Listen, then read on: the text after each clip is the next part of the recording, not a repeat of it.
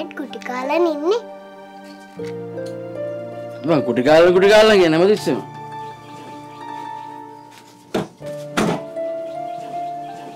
හෝලික්ස් gram දෙසිය පොඩි pack එක දැන් පහසු මිලකට සුපුරුදු පෝෂණය මග නොහැරෙන්න්නට හෝලික්ස්. මේ මොකද බම් මේ? උඹල හිතෝද මේ චිත්‍රපොතක් කියලා කකුල් දෙක ළඟ තියෙන මගේ මල නම් පාගන්න එපා. මල පාගන්න? මල පන්නන්න හදන්න උඹල දෙන්න මගේ. අම්ම කිව්වා අපි දෙන්නට තාත්තා බලාගන්න කියලා. උඹල දෙන්න මගේ මොනා බලාගන්නද බං? ඌ ගොඩට කුටි කාලන් ඉන්නේ.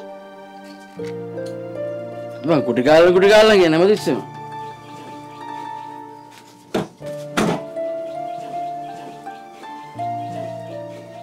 නැටහුණාම ලොකු අයන්ට තරහ යන ඒක අයුය තාත්ත ගුටි කාල හින්දා අම්මට විතරක් වැඩක් හොයා ගන්න ඕනෙ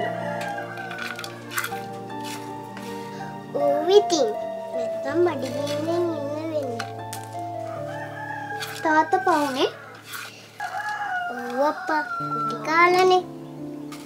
සේනය මුදලාලි ආයමත් තාත්තව අල්ලගනීද දන්නේ. අපි රාජයට කියමු මොකක්ද සෙන්නයි යමුදලාලිටයි බලියටයි කුටි දෙන්න කියලකිව කියමු කියමු.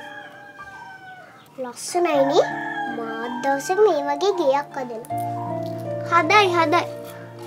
ගෙදරන්න එක එපා වෙනවනේ.